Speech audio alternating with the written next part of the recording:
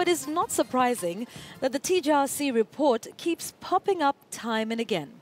The report was a product of the Truth, Justice and Reconciliation Commission established as part of Agenda 4 of the National Accord after the post election violence in 2008, seeking to provide long term solutions. So let's revisit the highlights of that report as compiled by Duncan Khaemba. I am submitting to you the report of the Truth, Justice and Reconciliation Commission.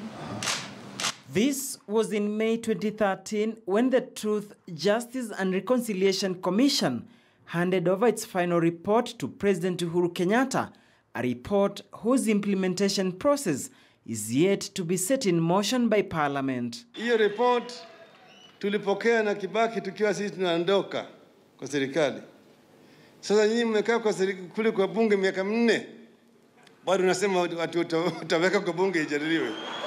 Tulikuwa tunangoja serikali iweke pesa ya uh, kuimplement your report. The Truth, Justice and Reconciliation Commission was set up to investigate historical injustices, including extrajudicial killings and economic marginalization and other human rights violations committed in the country since 1963, a process that over 40,000 individuals testify before the commission. During his second State of the Nation address in March 2015, President Uhuru Kenyatta apologized for the wrongs committed by past regimes. My brothers and sisters, to move forward as one nation, I stand before you today on my own behalf, that of my government, and all past governments to offer the sincere apology of the government of the Republic of Kenya to all our compatriots for all past wrongs. The report has also recommended need for reasonable compensation of all victims of historical injustices. I have instructed the Treasury to establish a fund of 10 billion shillings over the next three years to be used for restorative justice.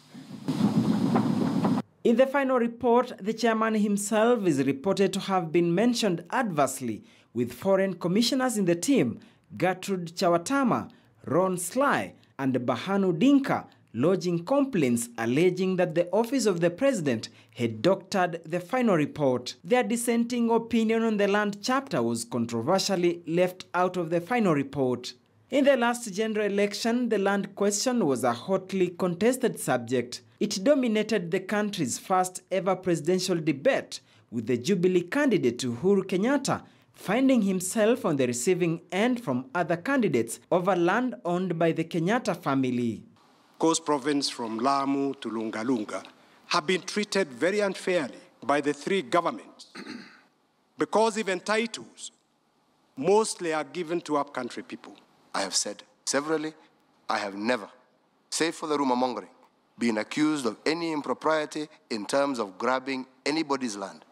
Land that we own as a family is land that has been purchased on the basis of willing buyer and willing seller. At no instance whatsoever.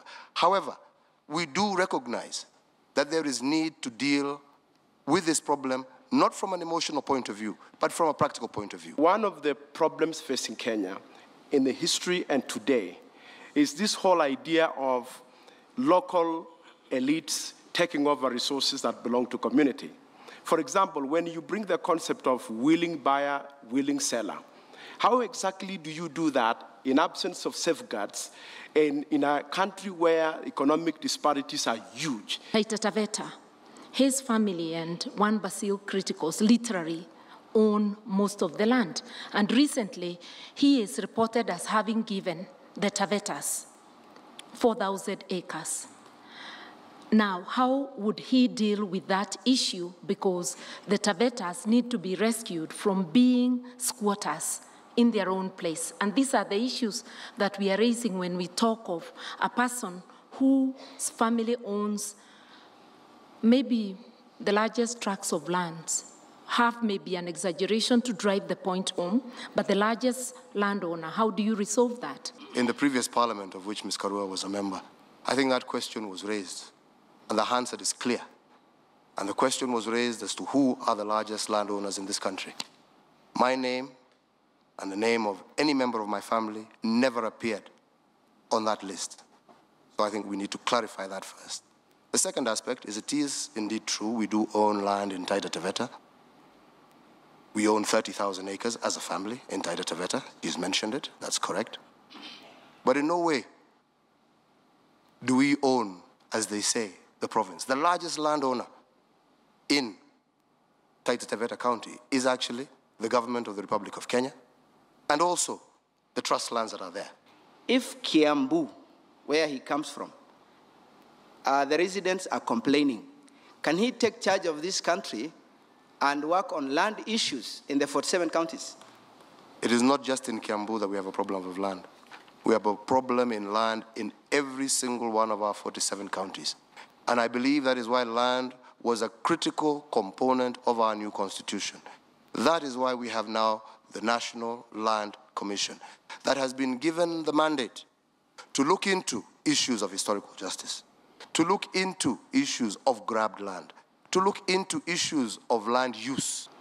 In defense of my brother Uhuru Kenyatta, he was just an innocent inheritor. He did not commit the original sin. And I think the country should sympathize with him.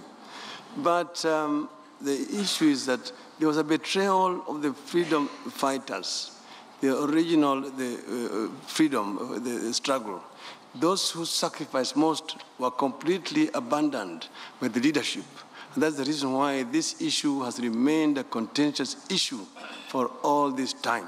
The Jubilee regime has tried tackling the land problem, especially at the coast, with President Uhuru Kenyatta giving out land titles to squatters in Mombasa and Lamu counties. Latest efforts being January this year, whereby squatters encroaching on the controversial expansive Waitiki land in Likoni were given titles.